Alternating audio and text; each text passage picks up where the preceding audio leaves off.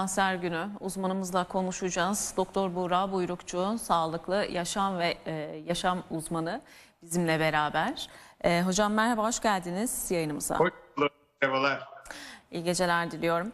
E, 4 geceler. Şubat Dünya Kanser Günü. E, bugün bunu konuşacağız. Fakat e, bir de kaybımız var. Hüner Coşkuner e, Evet. ilk kanser nedeniyle hayatını kaybetti ve e, ne yazık ki e, hayata veda etti. E, buradan da tüm sevdiklerine başsağlığı dileyelim.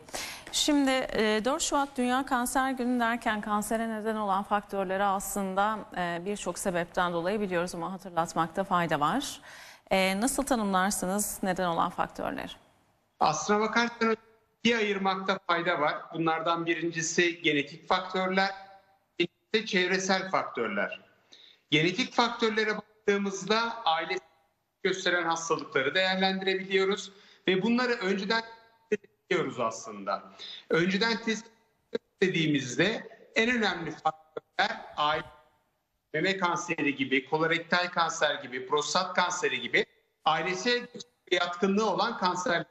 Eğer böyle bir kanser grubu varsa veya başka yatkınlığı olan kanserler varsa biz bunlarla savaşıyoruz. Yani meme kanseri yatkınlığımızı ölçüp değerlendirip daha sonra e, buna yönelik olarak bir beslenme sistemi, bir yaşam tarzı yaratarak bu kanserin ortaya çıkmasını engelleyebiliyoruz. Pekala İkinci bu ve- Buğra Hocam e, seste bir sıkıntımız var. Dolayısıyla e, birazdan arkadaşlarım tekrar sizi arayacaklar. E, tekrar bir bağlantı sağlamaya çalışacağız.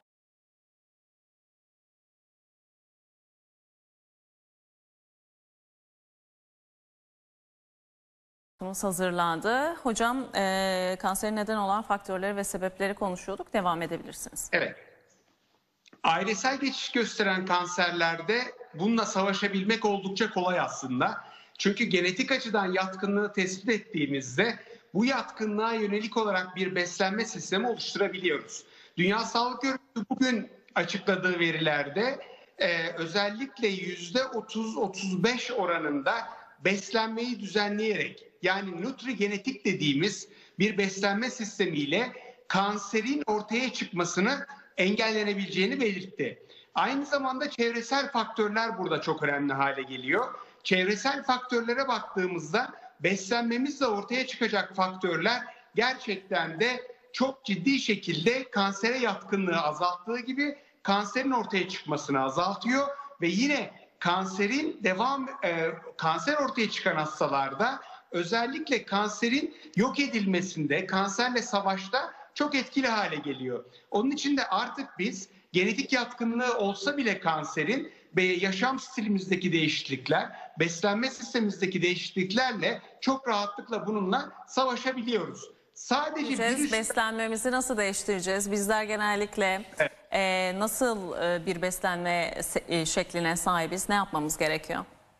Burada özellikle dışarıdan aldığımız beslenmede en önemli faktörün eee, kanser ve neden olabilecek faktörleri temizleyerek hareket ediyoruz. Peki buradaki en önemli faktör nedir diye baktığımızda kanser yapacak olan dış etkenler, mesela plastiklerle vücudumuza aldığımız etkenler, eee, ısıtmayla, tencerelerle, alüminyumla, bakırla aldığımız ağır metal ve toksinlerin düzenli olarak temizlenmesi gerekiyor.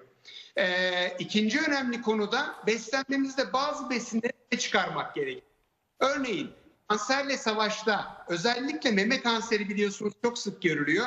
Meme kanseriyle savaşta ailesel bir meme kanseri yatkınlığı varsa ceviz yemenin çok önemli olduğunu biliyoruz. Özellikle cevizin içerisindeki gamma takofenoller e, meme kanserindeki östrojenik etkiyi azalttığı için meme kanserinin görülme sıklığını çok ciddi şekilde azaltıyor. Yine e, üzüm ve e, kırmızı besinler dediğimiz yapı mersini, böğürtlen, çilek gibi ürünler meme kanseri, kolorektal kanserin görülme sıklığını çok ciddi şekilde azaltıyor. Br- Brasika sebzeleri, Brüksel lahanası, e, brokoli gibi sebzeler erkeklerde kalın bağırsak kanseri görülme sıklığını çok ciddi şekilde azaltıyor ve yine e, özellikle meme kanseri ve rahim kanseri kadınlarda görülme sıklığını çok ciddi şekilde azaltıyor. Yani aslında Balığın faydası var mı? Evet kesinlikle özellikle hamsinin ve e, somonun çok ciddi şekilde faydası var. Omega 3 etkisi vasıtasıyla özellikle sardalya yine ülkemizde çok fazla görülüyor. E, omega 3 etkisi vasıtasıyla kansere yakalanma riskini çok ciddi şekilde azaltmış oluyor. Aslına bakarsanız en önemli yatkınlığı burada biz nerede görüyoruz? Özellikle ailesel geçiş gösteren hastaların bu biraz önce saydığımız sebepleri biraz daha fazla yemesini sağlayabilirsek böylece kansere yatkınlık ve ortaya çıkmasını çok ciddi azaltabilir. Peki.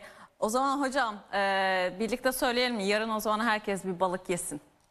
Sizin Kesinlikle. Özellikle de hamsi bizim için çok önemli. Çocuklarımıza da erken aşamada haftada iki sefer yedirirsek kanser riskini azaltırız. Pekala çok teşekkür ediyorum sağolunuz yayınımıza katıldığınız için. Doktor Buğra Buyrukçu sağlıklı yaşam ve fitoterapi uzmanı bizlerle birlikte.